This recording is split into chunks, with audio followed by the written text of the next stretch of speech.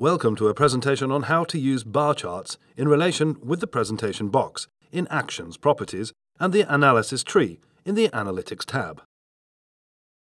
Bar charts are different than time charts. They present their items as rows. Bar charts columns can contain text or graphs, and there can be any number of columns. In this example, there are four columns, one text column and three bar graph columns. In the leftmost columns, there are both bar graphs and line graphs. The rightmost column, there is a stacked bar graph.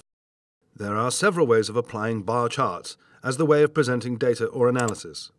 One of them is by using any of the three bar charts related actions in the presentation box. Bar charts last value, bar chart proportions, and table last value cop.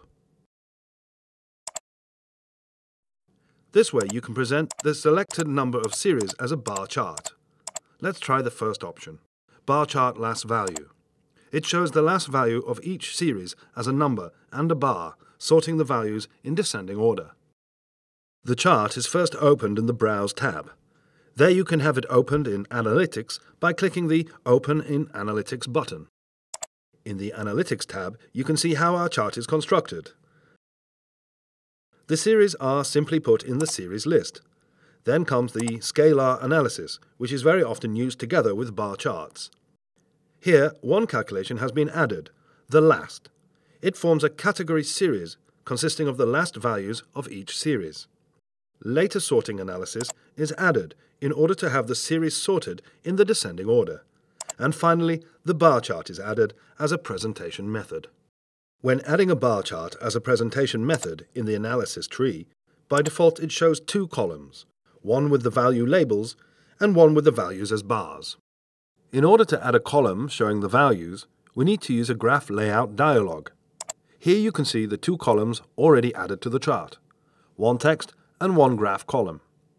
Next, we need to click the Add New Text Column button, which adds a new column in the Columns and Graphs area. Next, I'm dragging the time series and dropping below it and moving them between the first two columns.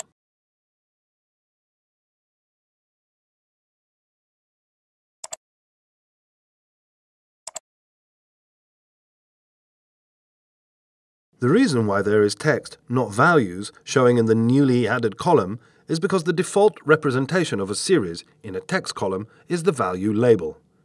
We need to change this to show the value instead. Whenever you select something in a bar chart, you will see tabs that correspond to the selected element, as well as tabs that correspond to all related elements. For instance, let's click on the header of the second column, and there is a tab called Header Properties on the top of the screen with a couple of property boxes below.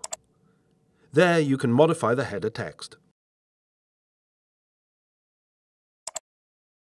Now let's click on the text in the second column and there is a tab called Cell Properties.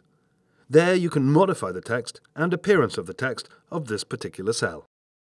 Since we want to change the properties of the entire column, let's click on the Column Properties tab. There, in the Properties, let's go to the Cell Defaults box and let's click on its Edit Text button. The Edit Default Cell Text dialog appears, where we need to replace the dynamic text by showing the series value instead of the series label. Now the second column in our chart shows the values. Looking at the properties boxes, you can also see tiny pins next to some of the elements in the boxes. Their role is to pin the selected setting to the chart and prevent its change in case of applying a new style sheet, for example. They can be used to pin the change settings for the columns and also for the individual cells.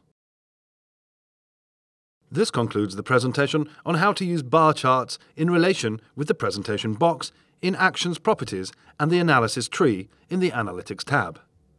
There is more information about different ways of presenting data and analysis available on our help pages. Thank you for viewing.